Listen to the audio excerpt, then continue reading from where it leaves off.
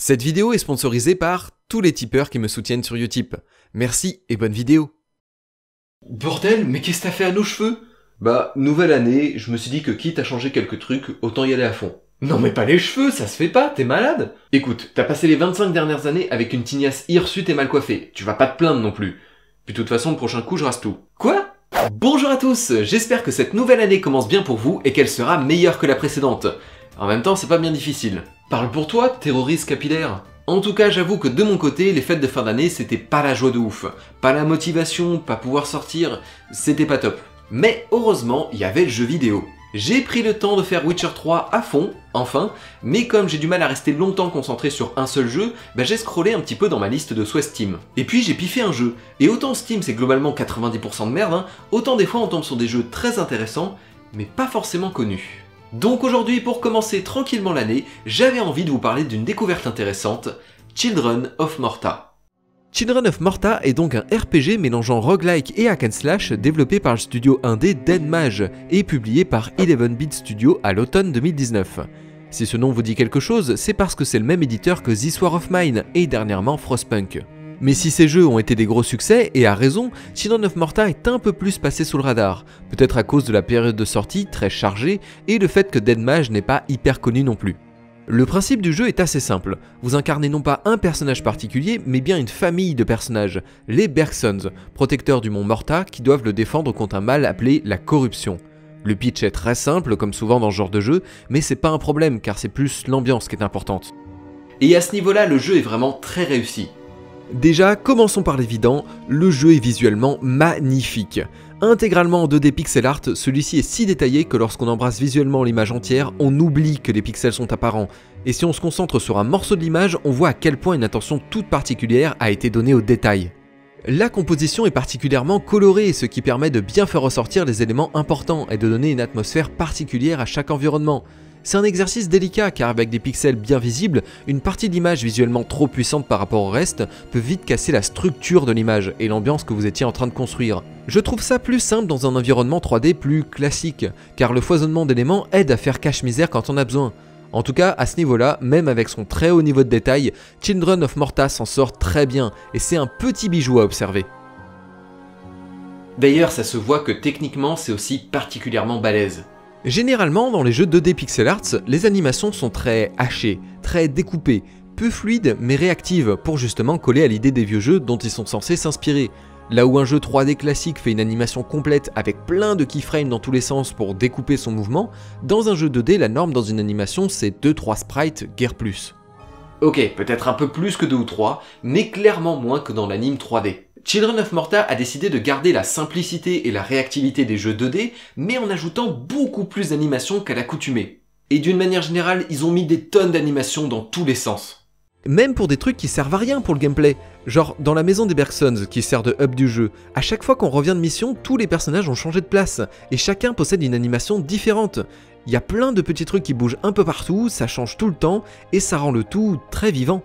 De la même manière, les très nombreuses cinématiques, que ce soit celles de l'histoire, des side quests ou tout simplement qui pop random pour ajouter de la profondeur aux personnages, elles sont vraiment toutes très jolies, bien animées, bien mises en scène. Au fur et à mesure de l'aventure, la maison des Bergsons est de plus en plus oppressée par la corruption, à un tel point que ça en devient à la fois flippant et très impressionnant. Ah non, franchement, le paquet a été mis sur le visuel et ça fonctionne super bien. Même s'il y a quelques éléments qui pêchent un peu. Bon, clairement, on est sur du pinaillage là. Les combats sont parfois si chargés en visuel qu'ils en deviennent brouillons, certains projectiles ou ennemis sont de la couleur du fond, ce qui les rend difficiles à voir, et le dernier gros point qui me dérange, ce sont les cassures visibles lors des zooms et des zooms des caméras dans les cinématiques. C'est con de dire ça, mais la 2D c'est pas fait pour la sensation de profondeur, ou en tout cas c'est pas fait pour les zooms. Avoir des éléments ou des personnages qui semblent s'approcher ou s'éloigner de la caméra lentement, étant donné qu'ils sont particulièrement anguleux, bah ça donne un effet tout chelou. C'est pas moche, mais clairement ça sort un peu du jeu mais n'empêche que sur l'aspect visuel, ça reste ultra propre. Et vous ajoutez à ça une musique discrète mais qui colle bien à l'ambiance, une narration voix off en mode conte, les personnages ne parlant jamais, tout étant exprimé par les mimiques produites par quelques gros pixels, et une histoire avec du drama, des scènes de joie, de tristesse et de cauchemar bien prenantes, et vous obtenez un jeu qui possède une véritable ambiance, une véritable âme, comme on en voit rarement ces temps-ci dans le jeu vidéo. Mais je n'ai pas encore parlé du gameplay. Un jeu peut être magnifique, mais si son gameplay est pourri, bah c'est rédhibitoire. Heureusement, ce n'est pas le cas de Children of Morta. Comme je l'ai dit, il s'agit d'un RPG avec des composantes de roguelite et de hack and slash. En fait, le principe, c'est que vous incarnez à tour de rôle un des sept membres combattants de la famille Bergsons pour aller dans un donjon et tenter d'aller jusqu'au bout. Chaque donjon possède un certain nombre d'étages, de secrets, de sous-quêtres, de monstres, de coffres, un boss au bout et est généré aléatoirement. Ça, c'est assez classique dans les roguelikes, mais Children of Morta lorne pas mal du côté des ARPG comme Diablo. Déjà parce que vous ne perdez pas tout lors de la mort, vous revenez en ville avec de l'or pour améliorer les points passifs communs de la famille et l'expérience de votre personnage est conservée. Ensuite parce que contrairement à un Rogue Legacy ou un Dead Cells par exemple, recommencer ne veut pas dire recommencer tout le jeu. Le jeu est chapitré et vous pouvez faire et refaire les chapitres dans l'ordre que vous voulez du moment qu'ils ont été débloqués.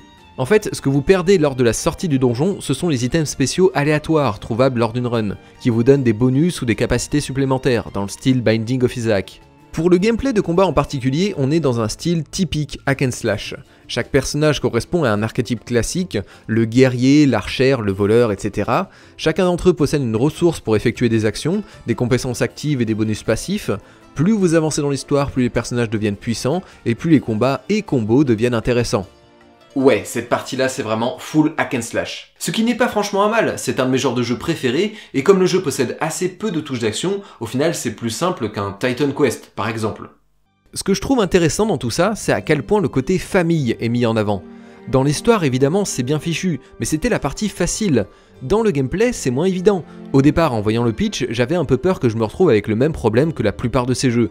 C'est-à-dire, je prends le mage ou l'archer, qui ont souvent un style de gameplay distance qui me convient très bien, et je roule sur le jeu avec un seul personnage, ignorant totalement et délibérément les autres membres de la famille. Ce qui clairement, dans ce cas-là, casse totalement l'immersion de l'histoire. Les développeurs ont du coup mis en place plusieurs éléments pour que ce cas de figure n'arrive pas. Déjà, si les personnages ont une barre d'expérience et des arbres de talent séparés, mettre un certain nombre de points dans chaque arbre débloque des passifs globaux pour tous les personnages, ce qui fait qu'il est intéressant de pexer plusieurs personnages pour booster tous les autres. Mais ça a le léger effet secondaire de rendre la fin du jeu très simple, si comme moi on a un peu farmé tous les persos et débloqué tous les passifs un poil pété. D'ailleurs à ce niveau-là, il est assez facile de casser la progression du jeu. En fait, avec l'or que vous ramenez de vos expéditions, vous pouvez améliorer les stats globales de tous vos persos. Et parmi ces stats globales, on trouve le gain d'or et le gain d'XP. Il suffit de se concentrer sur ces deux stats en début de jeu, de les maxer le plus vite possible, et ensuite vous reviendrez avec tellement de thunes des runs que les autres points deviennent une gageur. Le second point est un peu plus couillu, ils ont mis une limitation sur l'utilisation des personnages. Ça, c'est un truc qu'il ne faut typiquement pas faire dans un jeu vidéo. Interdire aux joueurs de refaire quelque chose qu'il vient d'effectuer, c'est une grosse source de frustration. Dans les jeux avec des microtransactions, cette frustration est utilisée pour faire payer, mais dans un jeu acheté plein pot comme Children of Morta, c'est la porte ouverte à l'énervement. Évidemment, je mets ici les limitations à mener de manière logique, par le scénario ou le gameplay. Plus assez de matériaux pour crafter un item à nouveau, ça a du sens d'être bloqué. Mais heureusement, la limite est assez soft. En fait, si vous utilisez deux fois d'affilée un personnage, il devient fatigué et sa vie max baisse. Si vous continuez à l'utiliser, le personnage devient de plus en plus fragile et donc de plus en plus difficile à jouer. Prendre un autre perso et laisser le premier au repos permet de faire disparaître ce debuff, mais vous pouvez aussi utiliser un collectible pour le soigner d'un coup si besoin. La limite est bien là, mais elle est assez faible. Elle sert avant tout d'incitation pour le joueur à prendre d'autres personnages. Et pour être totalement honnête, je dois dire que sans ça, je n'aurais certainement pas joué le jeu. Et au final, j'ai été assez surpris. Autant il y a des personnages que j'aime toujours pas et qui ont été un calvaire à pexer, autant j'ai apprécié jouer des personnages dont d'habitude j'aime pas le style. Comme quoi, des fois, un petit coup de pied au cul, ça aide. Après, le gameplay n'est pas non plus tout rose.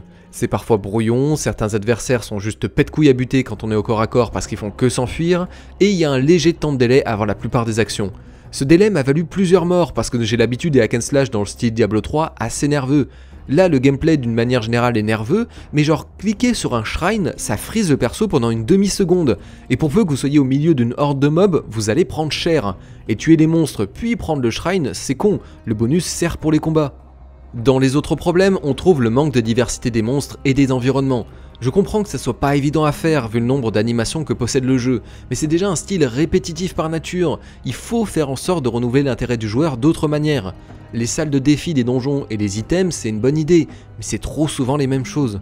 En plus, ces items manquent clairement d'impact. Ok, je comprends qu'il n'y en ait pas autant que dans Binding of Isaac, mais quand il y a des items avec un cooldown de 1 minute, on s'attend à ce que leur capacité soit un peu plus impactante sur la run.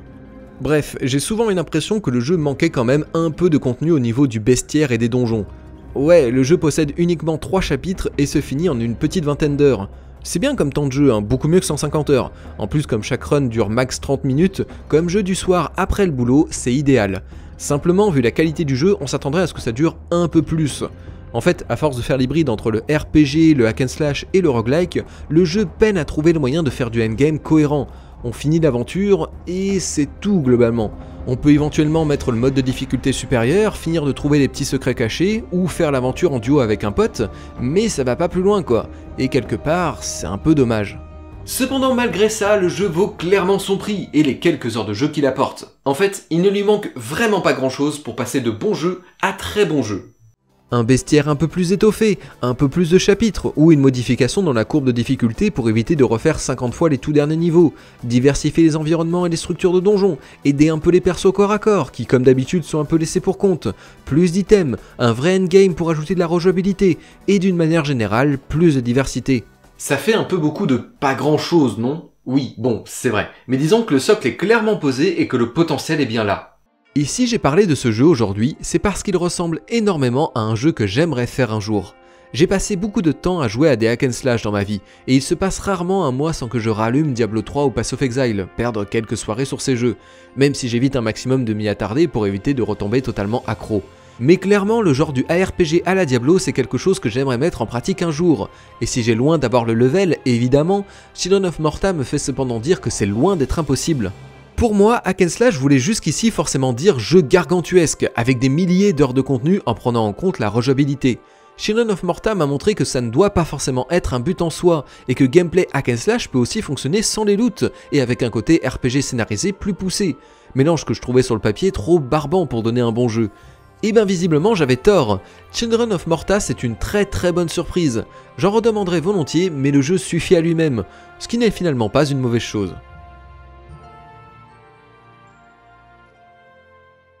Voilà, c'est la fin de cette vidéo et j'espère que ça vous a plu. Petit test pour commencer l'année en douceur. J'ai essayé de profiter des quelques jours de vacances pour me ressourcer loin d'internet et des milliers de projets que je lance sans jamais finir. J'en ai profité aussi pour faire un peu le point sur ce que j'aimerais faire en 2021. Si je suis toujours tiraillé entre mon taf d'informaticien dans lequel j'aimerais passer un cap significatif cette année et ma chaîne YouTube qui me prend toujours beaucoup plus de temps que ce que je peux lui en donner, bah disons que si 2021 me permet de bouger un peu, normalement des objectifs plus clairs devraient me permettre de faire apparaître plus de contenu. Notamment, j'aimerais pouvoir enfin sortir mon documentaire sur la pollution et le jeu vidéo, et refaire du Star Citizen un jour, mais pour l'instant c'est pas encore gagné. Bref, n'hésitez pas à me dire ce que vous en avez pensé en commentaire. N'oubliez pas non plus de liker, partager, vous abonner si c'est pas déjà fait, passer sur mon Utip ou me tiper de quelques battes, et je vous retrouve dans quelques temps pour une prochaine vidéo. D'ici là, portez-vous bien, et je vous souhaite à tous une très bonne année 2021.